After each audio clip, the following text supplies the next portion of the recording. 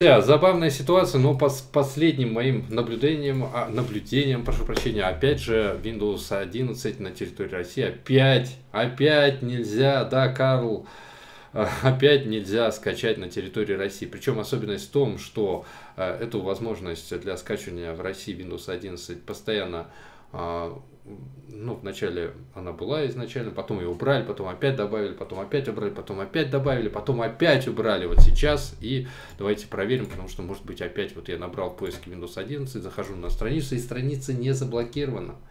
Нет. Но если, и, кстати, здесь, видите, помощник по установке, он даже скачивается. Видите, вот помощник по установке, он скачивается. Ну, кстати, на всякий случай скачаю, может быть, теперь это будет одно и то же приложение.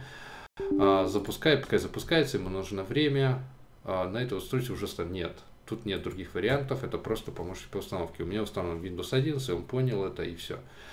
А второе, это вот создание установочного носителя, который позволяет скачать ISO образ и создать загрузочную флешку. Нажимаем и...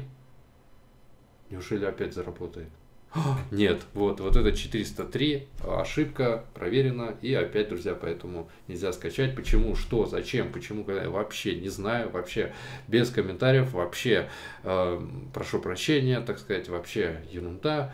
Но, опять же, нельзя скачать. Кстати, с Windows 10 все гораздо лучше, и там уже это же приложение можно скачать без проблем для создания загрузки флешки, либо ISO образа Windows 1. Нажимаем скачать, и оно, как вы видите, оно оно...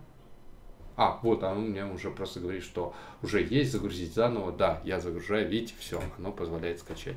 Все нормально, оно запускается. Друзья, вот такие вот новости, не знаю, что сказать. Ну, Windows 11 опять идет у нас лесом. Ну, ладно, ладно, ну уж почему лесом, ну почему? А, вот сейчас закрыли опять, а потом обратно опять включат. Вот так вот, не знаю еще, просто вот напишите то, что вы думаете в описании.